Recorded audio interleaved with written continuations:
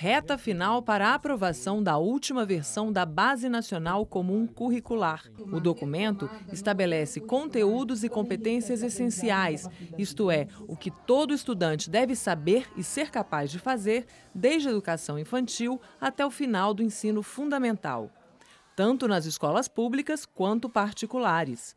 A última audiência pública para discutir o documento entregue pelo MEC ao CNE foi realizada em Brasília, com a presença de professores, gestores e profissionais de educação.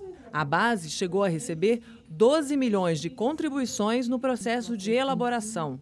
Será a primeira vez que o Brasil terá uma base nacional comum que está prevista na Constituição de 1988, na LDB de 1996 e no PNE de 2014, para promover uma educação de qualidade com equidade. O Conselho Nacional é, está debruçado em ouvir a todos nesse momento, da mesma forma que o Ministério da Educação se coloca à disposição, mais uma vez, para esse debate, ouvir as críticas que são importantes nesse momento, mas que a gente tenha no horizonte a importância de concluir este trabalho é, com o documento mais próximo possível do desejado é, para uma nação justa, democrática e crítica que nós tanto precisamos.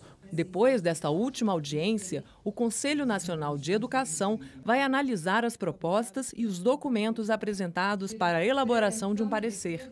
Depois de votado pelo Conselho Pleno do CNE, a base será encaminhada para a homologação do ministro da Educação Mendonça Filho e só depois a norma entra em vigor. Para César Calegari, presidente da Comissão do Conselho Nacional de Educação, encarregada de elaborar o projeto de resolução da Base Nacional Comum Curricular, este é um momento histórico para a educação brasileira. Esse é um momento alto porque, ao definir as normas instituidoras da Base Nacional Comum Curricular, nós te temos consciência de que vamos deixar um legado significativo com repercussões igualmente significativas para a educação brasileira para os sistemas educacionais, para as escolas, para a prática dos professores, das famílias, dos seus estudantes.